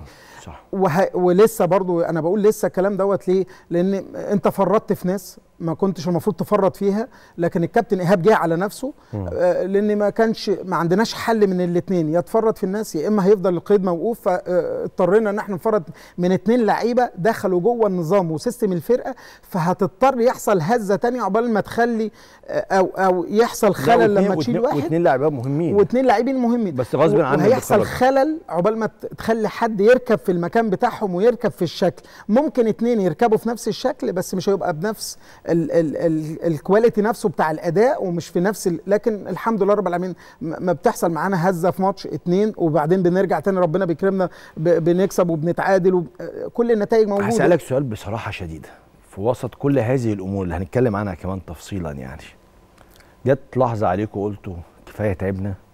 تعبنا يعني. آه عايزين ندي الإسماعيلي وبنحب الإسماعيلي وعايزين نساعد الإسماعيلي. بس تعبنا ضغوط كبيرة مستحقات لاعبين متأخرة عندهم فيها مشاكل في قضايا كتير. النتائج غصب عنكم أنتوا كل شوية عمالين تخترعوا اختراع فني عشان خاطر تعوضوا غياب ومشاكل في الفرقة. أنا تعبت بقى خلاص. فبقول لك يا كابتن حمد؟ أنا بكلمك أنا الكابتن إيهاب. كابتن حمد ما تعالى بقى إيه كفاية إحنا عملنا اللي علينا تعالى بقى كفاية كده. حصل؟ والله بص يا كيمو هي آه، الكابتن هيبقى عنده صبر كبير جدا آه. عشان بس يبقى الحقيقة يعني جداً، آه. الحقيقة قوي يعني عنده صبر كبير جدا ودوت برضو يعني يحسب للناس يعني الباشمهندس نصر لأن الباشمهندس نصر عنده هدوء كبير جدا عنده علاقة جيدة بالكابتن إيهاب ويعرفه وعارف شخصيته والكابتن إيهاب نفسه بيحاول يت- يتحمل الكلام ده في سبيل إنه نحاول نخرج بالنادي من ال- النفق المظلم اللي إحنا بقالنا 3 4 سنين وبيجوا مدربين ويشتغلوا أربع خمس ونقعد ننافس لغاية آخر مباراة آه، نكسبها في آخر ماتش والإسماعيلي يقعد وده مش مكان الإسماعيلي خالص. لكن مستحيل إنك أنت تقعد بقول لك الست سنين اللي أنت جرفت النادي فيه من كل حاجة ودينت النادي بأرقام كبيرة جدا. ولاعيبه ما بتاخدش مستحقاتها يعني إحنا عندنا لعيبه ما بتاخدش من سنتين مستحقات يجي الباشمهندس نصر والكابتن علي أبو جريشه والكابتن عماد مع كابتن إيهاب يصمموا إن هم يدوا للناس فلوس قديمة رغم إن دي مش شغلتهم ممكن يقول لك لا أنا بعد فترة أدي الناس السنة دي وبعد كده أدي لا هم صمموا إن هم يدوا لهم الفلوس ال- القديمة ودي حاجة كانت جيدة جدا هايل. لكن آه، آه، آه، هيظل بقى الحتة الثانية بقى إنك مم. أنت وأنت زهقان أنت شايف قدامك الإسماعيلي الاسم نفسه مم. النادي مم. آه، اللي انت عايش فيه يعني كل ما تحس بإحباط أو يأس لا بيدي لك ده بص يا كريم أول ما تخش النادي الإسماعيلي وتشوف الظروف اللي فيه بتدي لك دفعة أكتر. إحنا مم. بالنسبة لنا كجهاز بيدينا لا إحنا عايزين نشتغل وعايزين و- ونشوف ولاد صغيرين. آه، أنا بقعد أشوف الكابتن إيهاب صبره إنه يقعد يطلع كل أسبوع ثلاث أربع ولاد صغيرين من تحت ونحافظ عليهم ونعمل تدريب موحد و- مجموعة شغالة ومجموعة تانية وثلاث مجاميع بنشتغل. آه، بس في الأول وفي الآخر آه، هيرجع الناتج بعد كده إن شاء الله. إن ربنا يكرمنا بس نعدي أنا بقول نعدي السنة دي على خير إن شاء الله بإذن الله ونعديها بشكل كويس. إن شاء الله مع آه، آه، هدوء بقى الباشمهندس نصر والناس اللي معاه مجلس الإدارة يعني ربنا يكرمهم. آه، هتيجي بقى نشوف ال- ال- الاختراع بقى اللي هيحصل السنة الجاية إن شاء الله إنك تقدر بس تدعم بأربع خمس لعيبة يكونوا في مستوى معقول جدا. وتبدأ تشوف فرقة بقى النادي الإسماعيلي يا رب يكون كلامنا فيه الصدق ويكون بقى ال- آه لا عايزين نطور بقى الحتة دي يبقى عايزين نجيب كواليتي أحسن شوية مع الناس اللي موجودة اللي هم كويسين أصلا هيفرق كتير جدا. بدأتوا تدوروا بدأتوا تشوفوا؟ بنحاول آه آه, آه. لا يعني بقى أنا أقصد بسألك السؤال ده ليه؟ ممكن بعض الجماهير الإسماعيلي دلوقتي تقول ما هو مش واخد لسه الموسم لحد 15 8 بس كل الفرق دلوقتي بتشتغل عشان إحنا 30 6 في لعيبة من بره ولعيبة من جوه. بتتباع وتشترى فأنت على الأقل زي ما الموسم- بيقولوا كده إيه بتحجز لاعب الموسم انتهى يا كريم بره فإحنا كده. خلاص بدأنا نشوف وبدأنا ندور و... و... و... و... ومش أي حد يعني خد بالك مش أي يعني مش مم. أي حد هنبص عليه هناخده آه. مش أي حد هيجيب لنا حد هناخده ده, ده حط تحتها يعني 50 خط. لا مش بس 50 خط أنا هقف عندها آه بس كمل يعني حط آه. تحتها 50 خط إن إحنا مش أي حد هاخده مش آه. آه. أي م- لا لازم يبقى أنا آه، آه، عشان كده بنقول يا كريم هو الاقتناع الفني جوه system النظام اللعب وجوه طريقة اللعب هو اللي بيفرق مع أي مدير فني هل مم. المدير الفني دوت اللي بيختار كريم بيختار كريم على أي أساس أيوة. هل هينفع في شكل اللعب عندي ولا لأ أيوة. ممكن يبقى ثلاثة أربعة بيحاولوا يختاروا كريم بس هم عايزين يجيبوا كريم وأنا مش محتاجه عندي في شكل اللعب هو ده اللي يفرق بين مدير آه، آه، فني أنت لو تسمح لي أكمل على كلامك اتفضل. هوضحها أكتر يعني اتفضل إنه ممكن مثلا كريم ده بيلعب كويس جدا بس هو كريم لا يليق في طريقة لعبي هو فممكن حد يختار كريم عشان هو بيلعب كويس ماشي آه. بس هو مش هيفيدني مش مش هيفيدني في آه، النظام مش بقول إن هو لعيب سيء، وطريقه اللعب آه. الشيب اللي أنا بشتغل فيه على شكل فرقة صحيح. هل هل كريم ده هيركب معايا ولا مش هيركب معايا أيوة. في شكل اللعب صحيح. هو ده اللي هيفرق وعشان كده بقول آه، لازم نغير فكرتنا آه، آه، لأن بقالنا فترة بنشتغل في الكلام دوت بشكل سيء جدا جدا جدا جدا صح آه، بنيجي الأول مجلس الإدارة أو أي حد شغال في أي نادي بيروح جايب اللعيبة وبعدين يجيب المدرب. كارثة. ويبدأ المدرب عقبال ما يفهم اللعيبة طريقة اللعب ويبدأ يفهم اللعيبة موضوع مختلف لكن في مدير فني موجود في هو اللي مسؤول الأول والأخير مع طبعا الناس اللي لجنة الكره بس هو اللي مسؤول في الأول والأخير عن شكل اللعب وطريقة اللعب ومين اللي يبقى موجود مين كان. بيجيب اللعيبة في الإسماعيلي؟ ب- كتير بقى كريم ما مش عايزين نقعد نف... بص يا كريم. أنا أقصد عشان 50 خط اللي حضرتك حطيتهم دول أنا- أنا بس عايز أوضح للناس حاجة. إنه كتير من الجماهير ما تعرفش حاجة. أنا دايما أقول جمهور الإسماعيلي ده جمهور مصر يعني مصر آه، بتحب الإسماعيلي. طبعا طبعا. فمحتاج إنه يفهم. أنا كنت أسمع دايما إنه كلاء اللاعبين هم اللي بيجيبوا لعيب خد اللاعب دوت وبغض النظر بقى عن العملات والتفاصيل الأخرى بس الوكلاء ما كانش مش مدربين برضه يا كريم. مش عايز أظلم الناس في الحتة ديت آه. علشان أنا أنا شغلتي إن أنا أجيب لعيب شغلة حضرتك إنك تاخد اللعيب أو لأ آه. هو هل اللعيب دوت هي هي هيليق في شكل اللعب بتاعي؟ في, في النظام ولا لأ؟ ده اللي هيفرق. لكن أنت آه، آه، الناس كلها طبعا الوكلاء دول على دماغنا من فوق لأن دي طيب. شغلتهم وكل واحد بيعرض اللي عنده.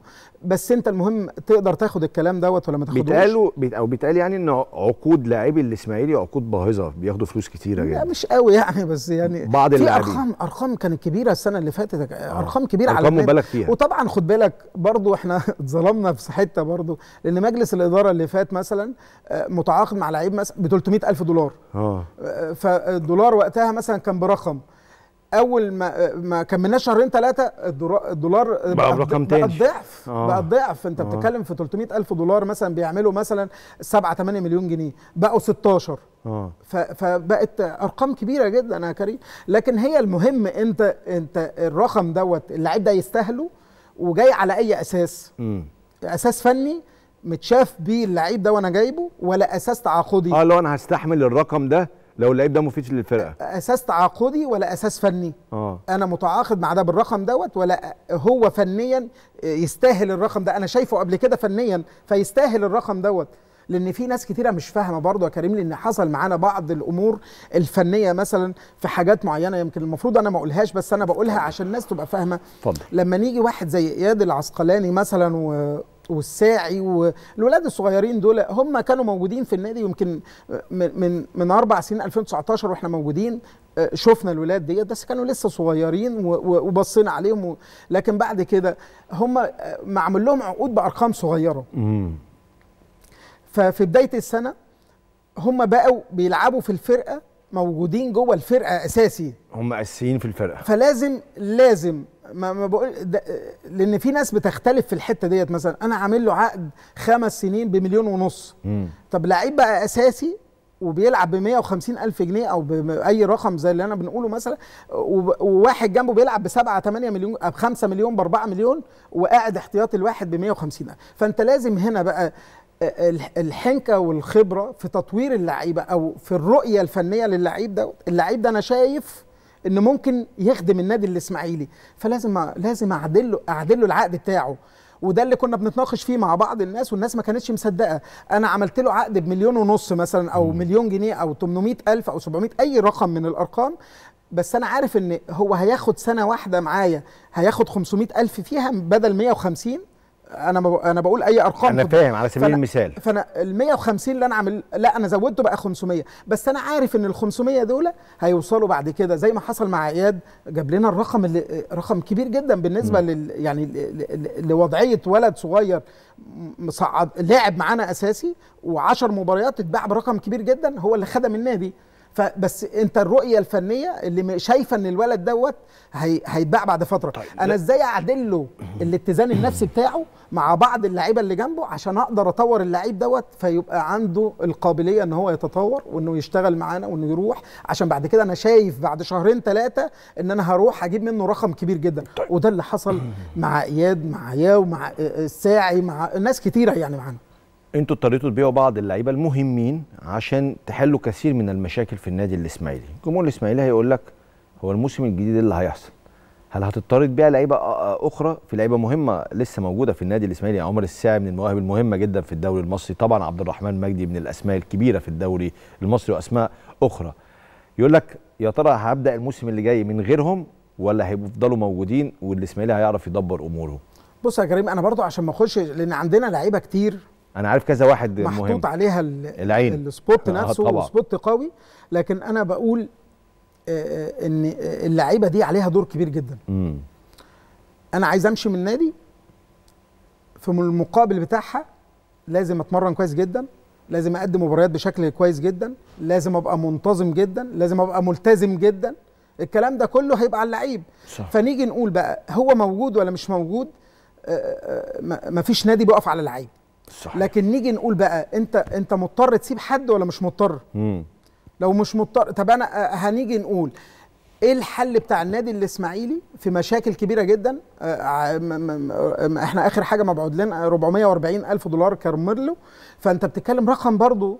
طب يا إما هيقف القيد. طب هنقول بقى ندخل نشوف حد sponsor نحاول بقى بنشوف sponsor يخش نشوف رعاة نشوف ما, ما, ما فيش نادي يا عيني. آه، ربنا يكون في عونه بصراحة. الباشمهندس نصر بيقعد يجري من هنا ومن هنا مع مجلس الإدارة بيحاولوا يجيبوا أي حاجة ي- ي- ي- يدخ- يعملوا دخل فأنت بتحاول أنا ما بجزمش إن في حد هيمشي وما بجزمش إن حد مش هيمشي يعني الاثنين دي نقطة مهمة جدا يا كابتن ما محمد. مستحيل كويس الشرح إحنا ولا اتكلمنا فيها آه. يعني حتى كابتن إيهاب أنا بقول لك مع الكابتن علي أبو جريشة وكابتن عماد عندهم هدوء كبير جدا في الموضوع دوت لأن الموضوع ده حساس جدا. بعض الناس أصل اتفقوا على بيع عبد الرحمن. أصل عبد الرحمن مش عارف إيه. أصل عمر الساعي راح الزمالك. أصل أصل مش عارف, مش مين عارف. إيه. آه. ولا الكلام ده خالص. تماما آه. تماما؟ آه، إحنا بنقول آه، إحنا مستعدين في إنقاذ النادي الإسماعيلي بأي شكل من الأشكال. زي ما فرضنا في آه، نور واياد العسقلاني وأنت المفروض في بداية ال season أنت مش عارف رايح فين. بس اتنين لعيبة عندهم عناصر مهمة جدا جوه الفرقة بس اضطرينا لأن كان السبب الأهم منهم أكبر منهم بكتير. أنت مش هتفك القيد وهيرجع عليك بقى بخصم بنط يا إما هيرجع عليك بقرار بهبوط الفرقة أي قرار من ال- من الفيفا ممكن يحصل معاك. فاضطرينا إن إحنا إيه اتنين مهمين لأ نفرط فيهم مفيش مشكلة بس الناحية الفنية هتتهز شوية ويحصل تأثير فني في شكل الفرقة بس بعد كده هنقدر نعوضه إن شاء الله. وده اللي حصل الحمد لله بقى بط- ب- ب- ب- ب- بعدد المباريات اللي لعبناها حصل هزة شوية. لا بنرجع تاني. ويحصل هزة ونرجع تاني. اسالك بصراحة. جمهور الإسماعيلي عمره عمره ما كان يتفهم هذا الأمر. أنا عايز أسألك دلوقتي الوضع إيه؟ يعني جمهور الإسماعيلي لما تيجي تقول له مثلا آه، إياد العسقلاني مثلا الأهلي بيفاوضوا عشان ياخدوا إياد العسقلاني أصلا كده كده مش من عندك. يعني يجي على الإسماعيلي أنتوا إزاي عملتوا كده وازاي سيبتوه ده الاهلي هياخده. الزمالك بيتفاوض مع عمر الساعي. مش عارف مين عايز ياخد عبد الرحمن مجدي. فكان دايما جمهور الإسماعيلي يهجم على الإدارة يهجم على الجهاز الفني إن هو يستغنى عن اللعيبة. هل دلوقتي جمهور الإسماعيلي وأنتم بت- بتلمسوا جمهور الإسماعيلي طول الوقت وبتشوفوه طول الوقت متفاهم الكلام ده ولا مش بص متفهمه إحنا بنحاول إحنا بنحاول نشرح عشان الناس تفهم. آه. وفي نفس الوقت أنا متأكد إن في ناس كتيرة فاهمة لأن الناس كلها شالت إيدها. كل الناس شالت ايدها ما حدش بيساعد النادي الإسماعيلي خالص. م- يعني حتى ال- الناس اللي موجودة في إسماعيلية اللي هم رجال الأعمال كله شال إيده وسايبين ال- الباشمهندس نصر لوحده ليه؟ آه، هو مجلس ما لا ما ما أنا ما أعرفش أسباب آه، ما طبعا تعرفش، آه. ما أعرفش عشان بس ما آه، بس ما فيش حد ما. بيساعد، ما خلاص. فيش حد بيساعد آه. يعني م- حتى حتى المفروض المفروض يعني برضو أنا بقول كلام كده ما أعرفش يعني المفروض إنك أنت عندك محافظة تبقى واقفة مع النادي وبتساعد النادي لكن سايبين آه، الأمور برضو خالص مجلس الإدارة يدير فقط النادي مجلس الإدارة ومجلس الإدارة يعني هيعمل إيه برضه؟ يعني مش عايزين يعني نكلفهم أكتر من طاقه لكن أنا بقول إن إحنا بنفهم الناس عشان تبقى فاهمة الكلام ده. أنا ما- ماليش إحنا إحنا فرطنا في زي ما قلت بس عشان أرجع للحتة بتاعتك. آه. يا وإياد. إياد. إحنا بعناه لنادي روسي حاطين ع- حاطين مثلا شرط آه، ممكن يرجع للنادي الإسماعيلي وممكن يتباع بره. أنا خلاص أنا أنا خلاص أنا بعت إياد. يرجع بقى من النادي الثاني على نادي آه، أي مثلا. أي اسم آه، هل إياد العسقلاني في عقده حاجة بتقول إنه لو هيرجع مصر أنا أعرف إن هو المفروض يعني لو رجع مصر يجي آه، الإسماعيلي؟ لكن في الأول وفي آه. أنا بسمع كده كريم لكن ما أعرفهاش 100% مش التفاصيل لكن في. الأول وفي الآخر أنا بقول خلاص أنا أنا أنا إياد ما. بقاش بتاعي صحيح فمن حقه يروح في حتة تاني حاجة يا كريم إحنا في زمن ال- الاحتراف وإنك أنت آه، تعمل أرقام كبيرة للنادي مش فارق معايا مين بقى. أنا هبيع كريم. هبيع كريم بقى يجي لي محمد يجي لي حسين يجي لي صلاح أي واحد فيهم. المهم إن أنا عايز اللي يخدمني في شغلي يديني الرقم اللي أنا عايزه. ما, ما أنا كده كده أنا هبيع كريم.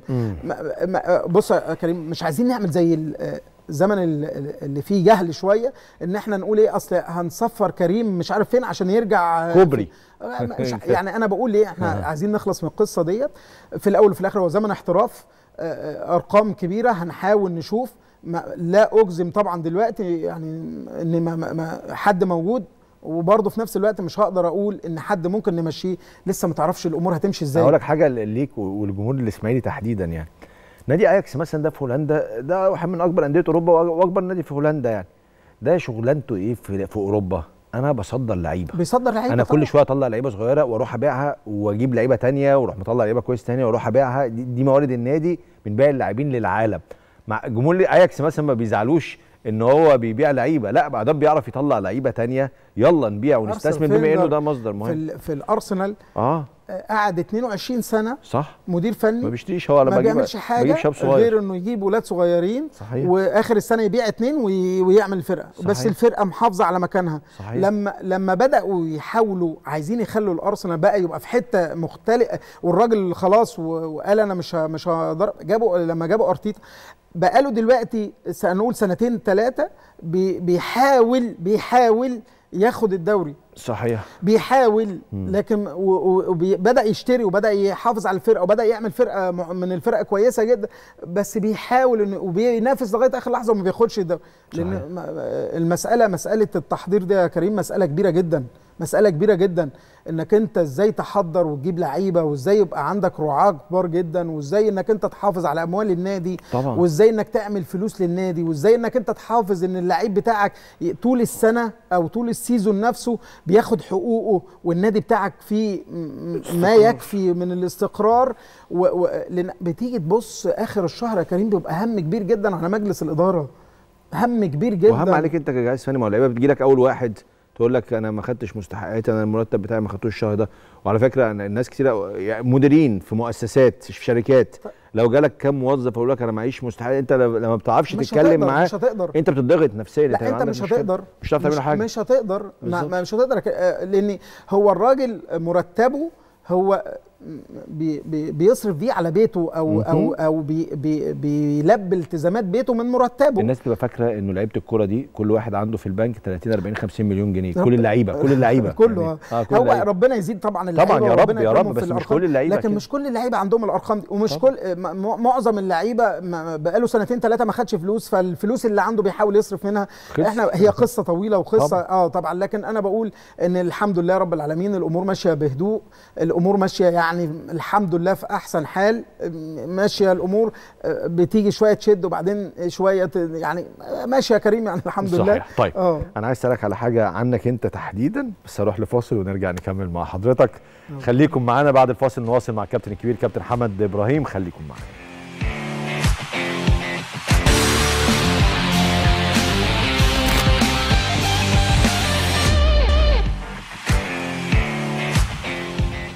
يا أهلا بحضراتكم مرة أخرى لسه مشرفني ومنورني الكابتن الكبير كابتن حمد إبراهيم المدرب العام للإسماعيلي. قلت له قبل الفاصل أنا هسألك أنت سؤال ليك أنت شخصي مش للنادي الإسماعيلي. أتصور إن هو متوقع السؤال يعني. لما عين الكابتن إيهاب جلال مديرا فنيا لمنتخب مصر والكابتن إيهاب جلال كان طالب جهازه المعاون وكان طالبك تبقى موجود وبدأ أصوات تتع... تتقال إنه اتحاد الكرة هو اللي بيعين المساعدين ولازم يبقى واحد أهلي وواحد زمالك. ولازم يكون له رصيد دولي وله وله كلام من ده كتير يعني. بالمناسبة أنا وقتها أنا اختلفت جدا قلت جهاز فني يبقى جهاز فني كامل آه. مفيش في العالم كله كده يعني في أوروبا كده إحنا ما بنعرفش مين أصلا المساعدين بس بيبقوا ليهم دور كبير. الفترة دي بالنسبة لك ضايقتك؟ والله يا كريم بص أنا يعني الفترة دي من الفترات أنا بقول إنها من أحسن فترات ليا. لأن هي كان ليها أسباب. أنا بقول لك يعني آه، كابتن إيهاب أنا علاقتي بيه كبيرة جدا وفي الشغل كمان علاقة كبيرة جدا. لكن هو قبل ما يمسك المنتخب بحوالي شهرين. جاله عرض إن أنا أمسك آه، أتولى مسؤولية الرجل الأول في النادي الإسماعيلي.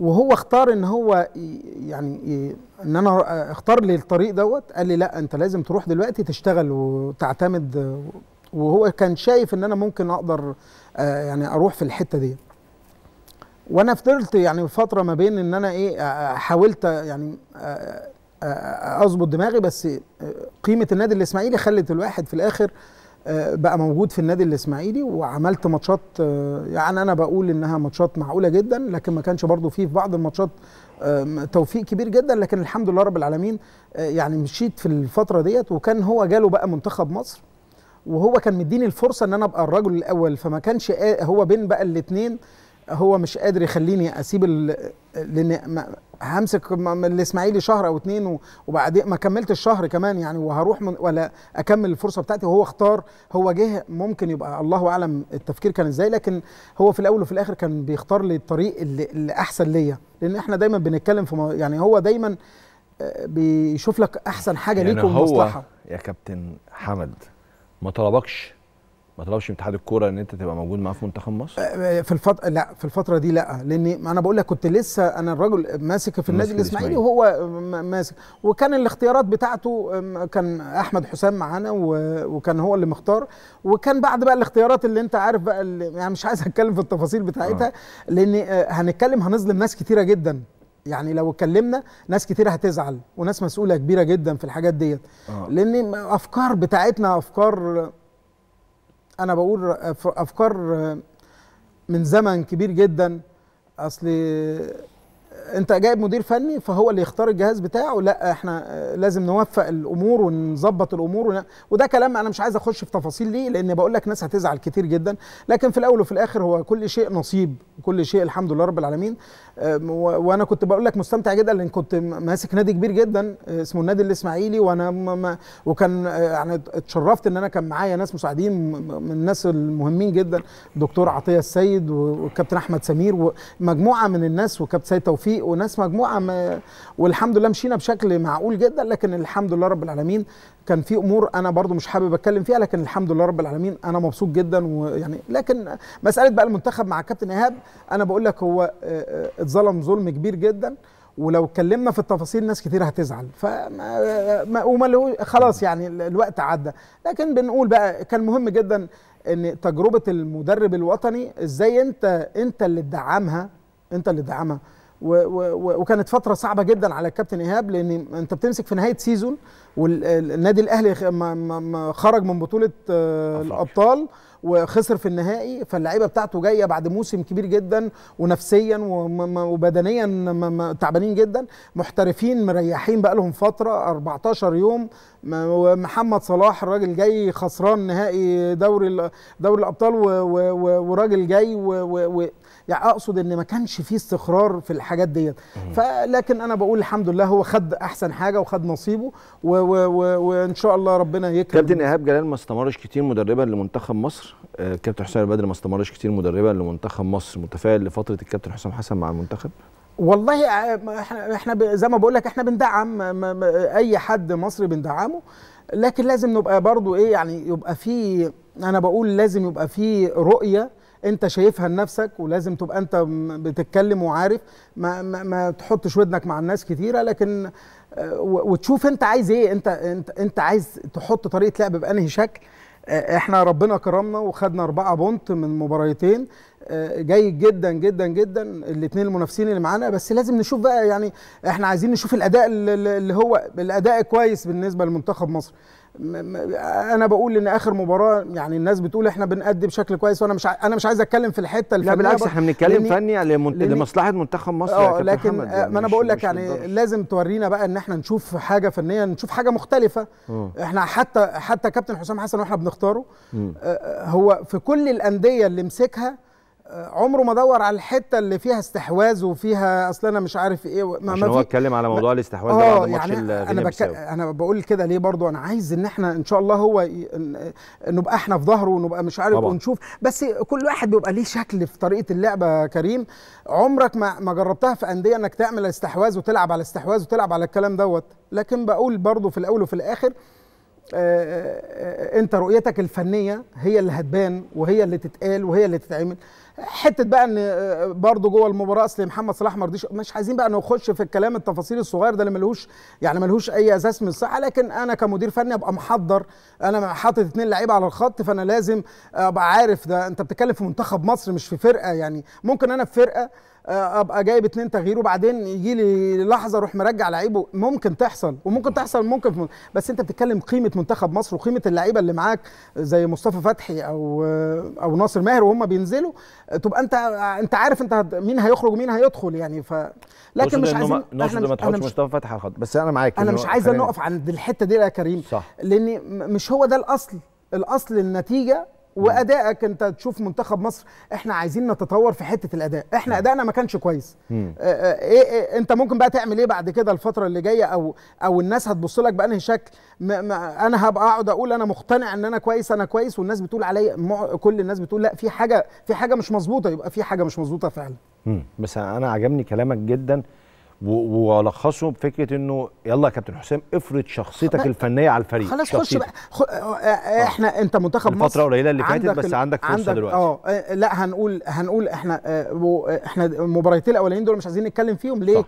هنقول فترة ما بين الموسمين وفكره فكرة المحترفين مش كاملين وفك طب آه، بس ال- انت الحمد لله رب العالمين النادي الأهلي جاي لك وهو كسبان بطولة نادي الزمالك جاي لك وهو كسبان بطولة المحترفين بتوعك راجعين وبيلعبوا يعني هنبص بقى في شهر تسعة بقى عايزين نشوف بقى آه، آه، في الفكرة الفنية بقى اللي إحنا عايزين نستمتع بمنتخب مصر صحيح. عايزين نشوف عايزين نشوف ونشوف شخصيتك انت في حتة آه، آه، الرؤية الفنية انت عايز تعمل إيه؟ صحيح. اعمل اللي انت تعرفه. صحيح. يعني أنا عايز هنقول اعمل اللي انت تعرفه دوت تحتها برضو خمسين خط. ليه؟ مش عايز أقول حاجات أنا ما بعملهاش أصلا في شخصيتي ما مش هعرف اعملها.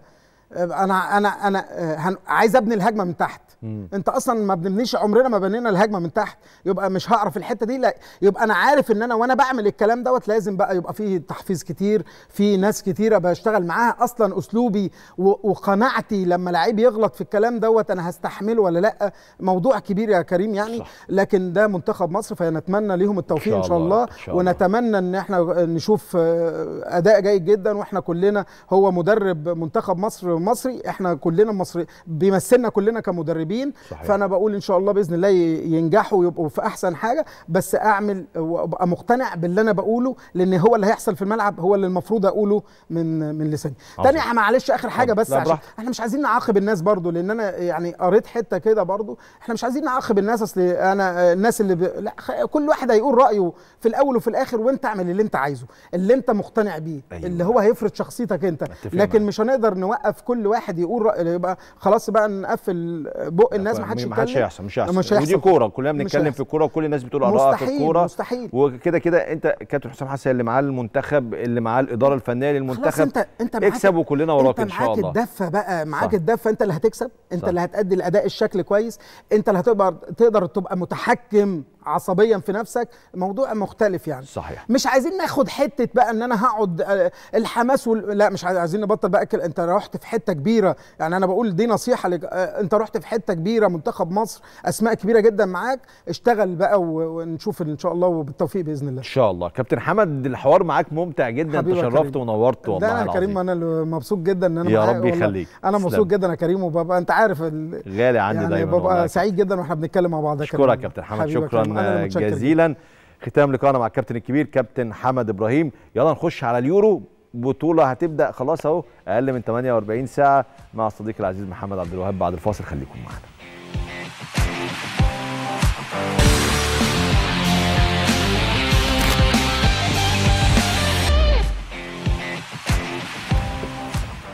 يا أهلا بحضراتكم مرة أخرى يشرفني وينورني في هذه الفقرة. راجل عشرة عمر يعني أشطر الناس من أشطر الناس اللي يعني ممكن تشوفهم في الكورة.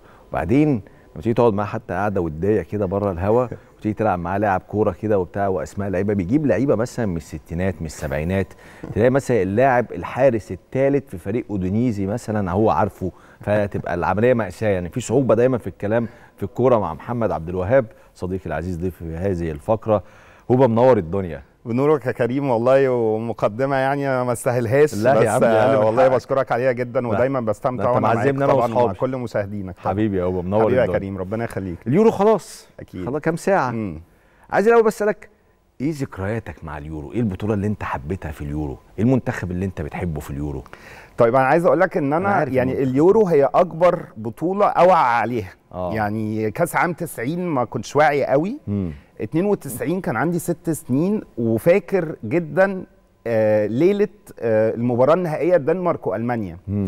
وأنا كنت بنام بدري طفل عنده ست سنين عادي فطلبت من والدي الله يرحمه قلت له سجل لي الماتش ده عشان أتفرج عليه تاني يوم وأنا عندي ست سنين. ست سنين. ف آه، بالطبيعي إن أنا كنت بشجع القوي كنت بشجع ألمانيا ورغم إن أنا عمري في حياتي بعدها ما شجعت ألمانيا كنت بحب كلينسمان جدا. فلما صحيت سألت آه، بابايا قلت له الماتش خلص كام؟ فقام قال لي الدنمارك كسبت. طبعا كانت مفاجأة أول مفاجأة في يعني من أول ما وعيت على كورة إن الدنمارك هي اللي تكسب ألمانيا آه، بطل كأس العالم 90 طبعا. فما اتفرجتش على الماتش لحد النهارده تقريبا خلاص يعني ما شفتش حتى خلاص. منه ال highlights خالص. فبالتالي أنا بالنسبة لي اليورو دي هي أول بطولة عالمية اوعى عليها آه، من أول ما بدأت أتفرج على كورة يعني. آه، أنا فاكر حتى يا كريم عندي في في الأوضة بقى بتاعتي أنا وأخويا يعني من في بيت أهلي يعني كان عندنا على كوميدينو كده الصورة بتاعت الدنمارك المنتخب اللي فاز ببطوله اليورو 92 فهي بطولة بالنسبة لي آه، نوستالجيا جدا. هي أول بطولة وعيت عليها. وعايز أقول لك حاجة يا كريم أنا لعبت لعبة ال ال ال ال game بتاع يورو 92 لعبتها. يعني لعبتها وكانت لعبة ساعتها كانت طبعاً. قلب الدنيا يعني. طبعا. فبالنسبة لي اليورو دي ذكريات آه، كبيرة جدا يعني. إيه المنتخب اللي أنت بتحبه عامة؟ أنا إيطاليا طبعا. إيطاليا, إيطاليا من 94 بقى كأس عام 94 روبرتو باجيو. بالنسبة لي إيطاليا دي number 1 يعني. إيطاليا ومصر يعني حتى لو كأس عالم ما فيهوش إيطاليا وما فيهوش منتخب مصر فأنا مش مهتم أصلا إن أنا ممكن أروح الاستاد وأسافر عشان أحضر ماتش. يعني كأس العالم الأخير آه، في قطر. عشان مصر مش موجودة فيه وعشان إيطاليا مش موجودة فيه فبالتالي ما اهتمتش قوي مش- نفس الاهتمام اللي كان آه، كنت هبقى فيه لو مصر موجودة أو إيطاليا طيب موجودة. إيطاليا السنة دي تقدر تعمل حاجة؟ تقدر تنافس مع سباليتي وسباليتي هو مدرب يقدر يتعامل مع كل الظروف مع أي عناصر مع أي quality للاعبين. إيطاليا دلوقتي مش إيطاليا آه، زمان. مظبوط. إيطاليا فيها نواقص كثيرة ومواهب قليلة جدا. بس سباليتي ممكن يعمل حاجة تبقى مفاجأة في هذه البطولة؟ جدا. جدا. آه، بطولة آه، 2024 شبه شوية بطولة 2016 كان مم. منتخب إيطاليا وصل لل final في 2012 وخسر خسارة كبيرة جدا من أسبانيا في المباراة النهائية 4-0 أعاد كونتي شوية تجديد دماء منتخب إيطاليا. وقدر في 2016 إن هو يعمل بطولة جيدة جدا لولا الخسارة من ألمانيا بركلات الترجيح. أنا شايف إن في لعيبة طليان طالعين من الدوري الإيطالي الدوري الإيطالي بقى آه، بيغير جلده.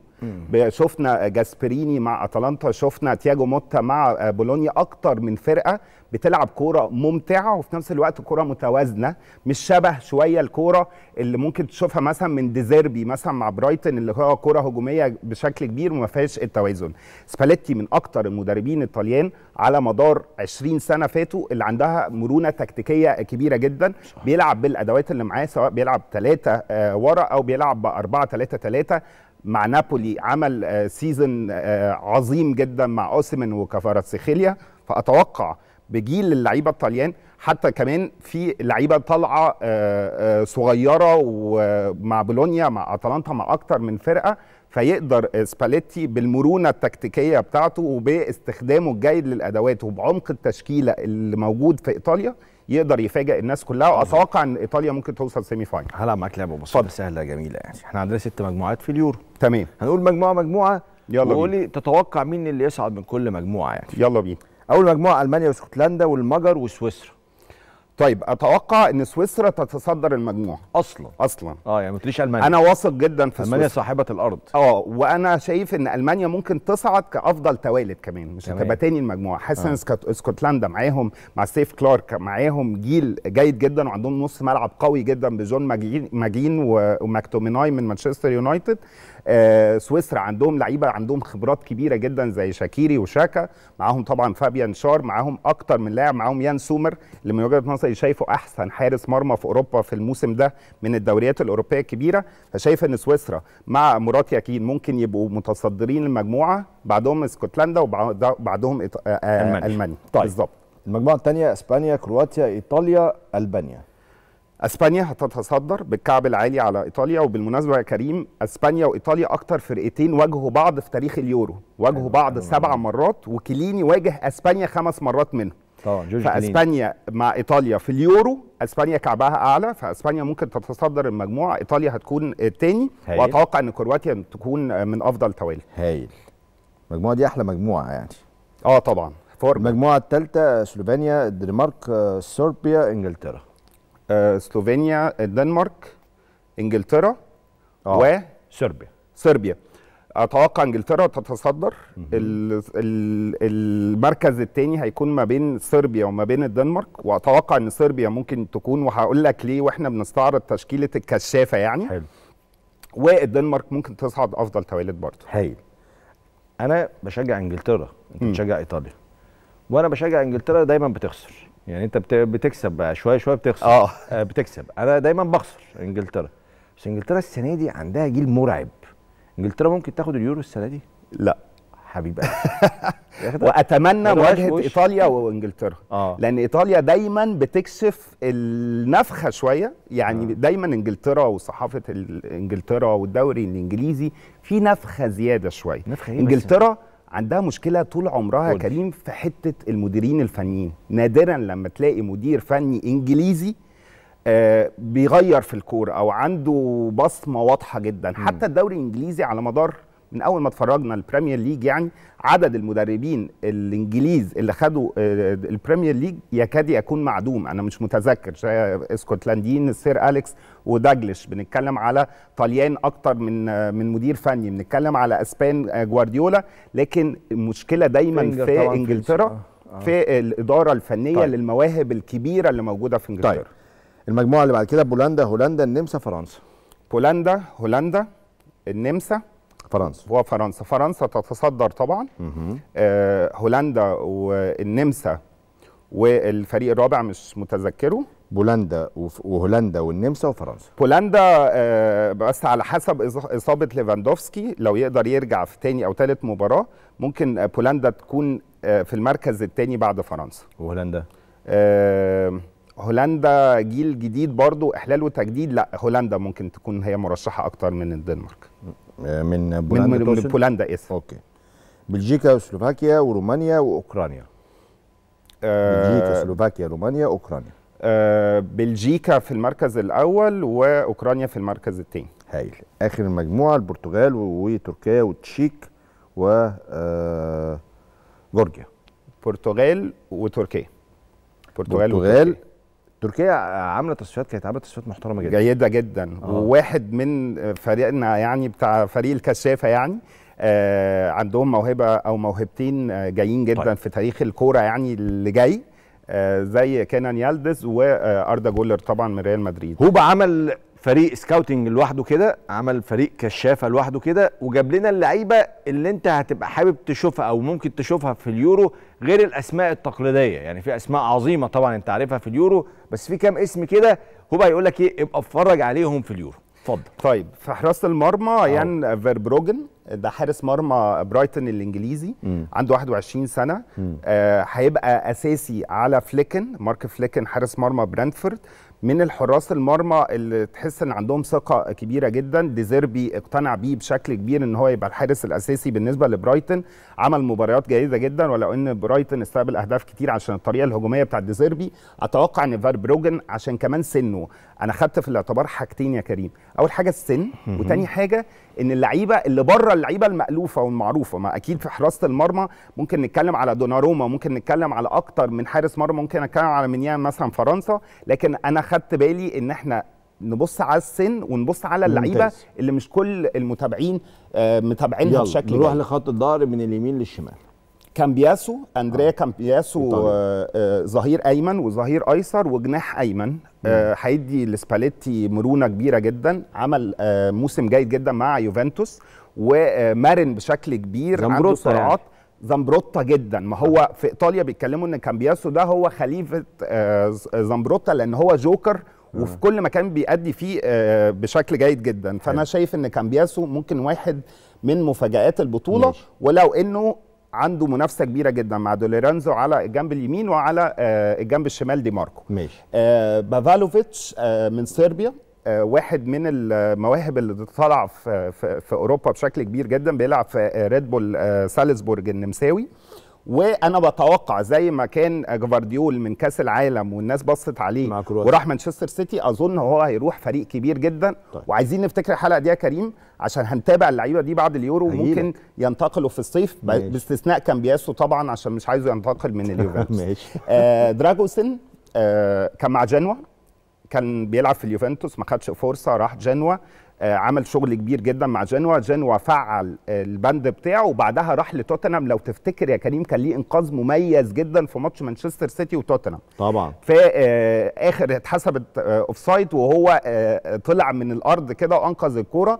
آه، دخل في تشكيلة توتنهام بشكل جيد جدا وهو واحد من المواهب اللي إحنا ممكن نبص عليها مع آه، رومانيا. على الجنب الشمال آه، ميلوس كيركس آه، ده باك شمال مجري. آه، لعب مع بورنموث آه، عمل أداء كبير جدا مع بورنموث وكان آه، بيلعب آه، كباك شمال وبيلعب كمان كجناح شمال ومؤثر جدا هجوميا. أتوقع إن آه، كيركس ممكن بعد اليورو يروح فرقة أكبر بكتير من. بورنموث. طيب آه، جواو نيفيز من البرتغال هيبقى عليه خناقة. عليه خناقه آه، مانشستر يونايتد بيفكر فيه أكتر من نادي في, في أوروبا من الدوريات الأوروبية الكبيره ومن الأندية الكبيرة بتفكر فيه عنده 19 سنة بس عنده شخصية قوي جدا دفاعيا وكمان آه، بي- بيقدر يسجل أهداف سجل ست أهداف مع بنفيكا السنة دي. أظن إن نيفيز هيكون واحد وحجز مكانه بشكل أساسي في ترسانة النجوم اللي موجودة في المنتخب البرتغال. البرتغالي. فأظن هيكون من المواهب القوية جدا في اليورو. س- آه، آه، لازار آه، سمرزيتش آه، ده واحد من أسباب إن أودينيزي يقعد في الدوري الإيطالي. أحرز ست أهداف برضه مع أودينيزي في الدوري الإيطالي. منتخب. ولاعب منتخب صربيا وهو بيلعب كمركز رقم ستة وبيخترق كلعيب رقم 8 لعيب عنده شخصية رغم صغر سنه وهو 22 سنة. ممتاز.